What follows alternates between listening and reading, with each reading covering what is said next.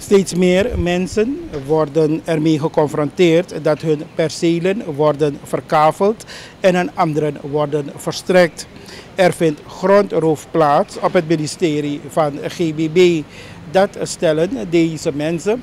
En in de afgelopen periode hebben ook heel wat mensen TBN Prime Alert benaderd. Wij hebben deze mensen geïnterviewd. U hebt eh, de interviews ook allemaal gezien. Vandaar dat we dat ook voorlegden, want de meeste zaken spelen zich in en rondom Wanica. Vandaar dat we dan ook met de fractieleider van de coalitie, Assis Kumar Gayadin, er hierover spraken. En Gayadin die heeft er zeer veel dan ook uitgehaald naar deze praktijken die er plaatsvinden binnen het ministerie van GBB. U weet, toen het ging om beoordeling van deze regering, dat ik aangegeven heb dat wat het ministerie van GBB betreft, dat zij een dikke onvoldoende krijgen. Maar kijk, zaken moeten niet los van elkaar gezien worden. Uh, we hebben, zij die het uh, kunnen nagaan, uh, zelfs tijdens uh, regering Bouterse, heb ik diverse malen brieven geschreven met betrekking tot ehm, elke uitgifte van grond, dan wel intrekking, dus een beschikking vanuit het ministerie van GBB, dat het gepubliceerd dient te worden. Wel, hier in het parlement heeft uh, diverse vicepresident, uh, presidenten, van de heer Amarali tot uh, Adin tot Bouterse, aangegeven dat ze het zouden doen. Ze hebben het niet gedaan totdat wij uh, wet, uh, anticorruptiewet hier behandeld hebben in het parlement in 2017. En daar is dan daar uitdrukkelijk opgenomen van een van de gronden waarbij uh, men eigenlijk in overtreding gaat, is wanneer een beschikking door de minister, de minister van uh, GBB wordt uitgegeven, dat het niet gepubliceerd wordt. Bij het begin van deze regering heb ik, is mijn eerste actie geweest om de president te vragen en de ministers te vragen om meteen elke uitgifte en dan wel intrekking te doen publiceren. Men heeft geweigerd. Men heeft geweigerd en tot de dag van vandaag gebeurt het niet zoals het zou moeten gebeuren. Dus het, um, in deze zeg ik niet alleen dat de minister van GBB, ehm, laten we zeggen, zich niet houdt aan de wet, uh, anticorruptiewet. Maar het is ook uh, de regering die hier aan debet is.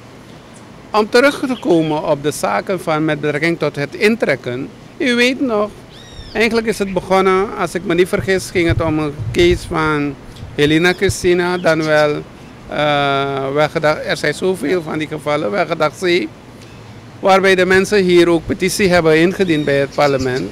En waarbij ik de mensen hier ontvangen heb. En in bijzijn van de mensen uh, gesprekken gevoerd heb met de president en de vicepresident tegelijk, waarbij ze samen waren, en de zaken aangepakt zouden worden. Ik ken kwestie Sabaku, waarbij er uh, gronden zijn uitgegeven, waarbij hier in het parlement tot de dag van vandaag er geen rapportage is gepleegd zoals dat gevraagd is. Um, het lid Ramsukul heeft zelf een uh, brief geschreven naar PG. En ik denk dat er zelf een strafrechtonderzoek is gevraagd door een stichting. En deze zaken, en het, uh, de procureur-generaal heeft geantwoord dat er geen informatie vanuit het ministerie wordt verstrekt aan het Openbaar Ministerie. Al deze zaken zijn zaken waarbij de regering in zijn totaliteit had allang had moeten optreden.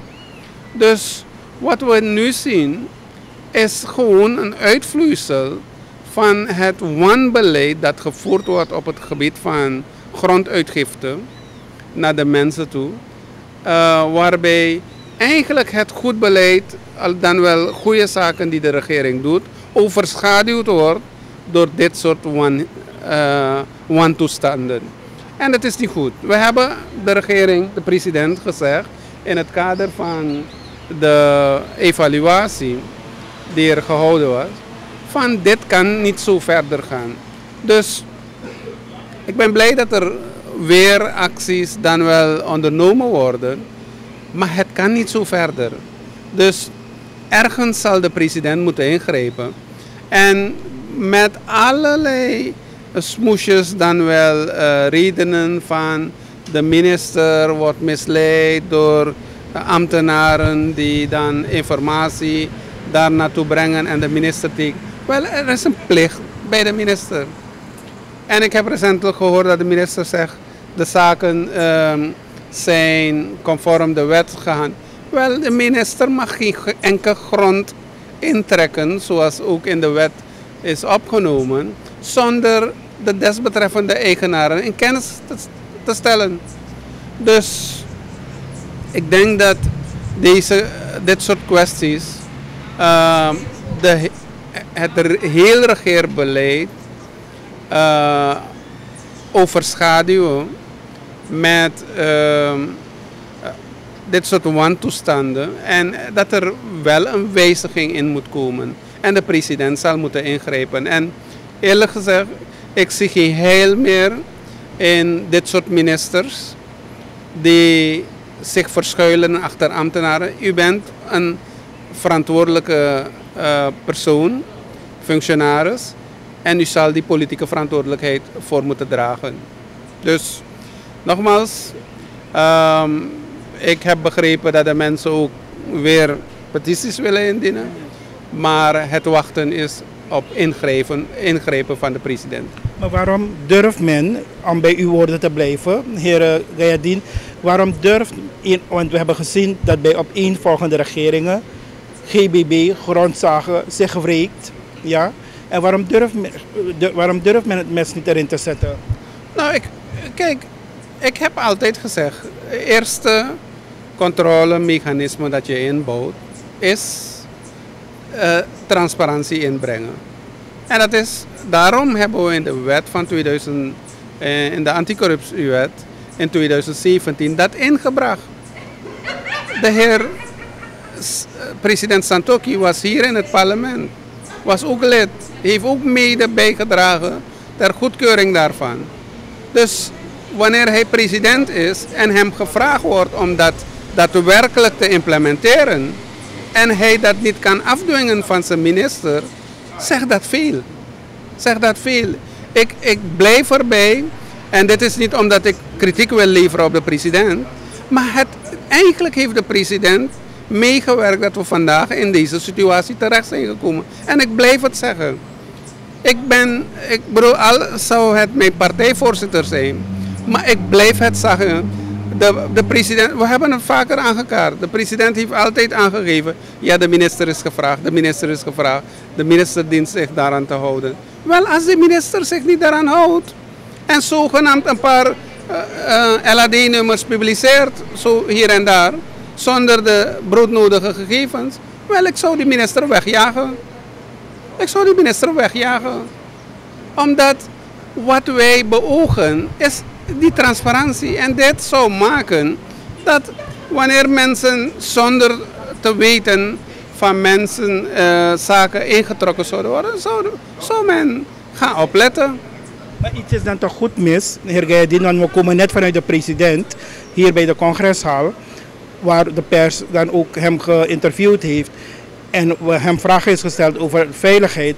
En de president geeft aan, heeft een aantal keren gevraagd naar een veiligheidsplan. En nu hij met zijn vuist is gaan slaan op tafel, dan pas heeft hij pas gisteren een veiligheidsplan. Dan, dan is er toch iets goed mis. Dus ik hoop dat hij ook in deze, um, en daar rekenen we op. En ik ken deze president, hij zou het kunnen. Uh, daar, daarom hebben we vertrouwen in hem. Ik, ik weet dat hij het zou kunnen. Ik hoop dat hij nu ook hier met de vuist op tafel slaat. En geen enkel, um, eigenlijk misstap van dergelijke aard meer toestaat.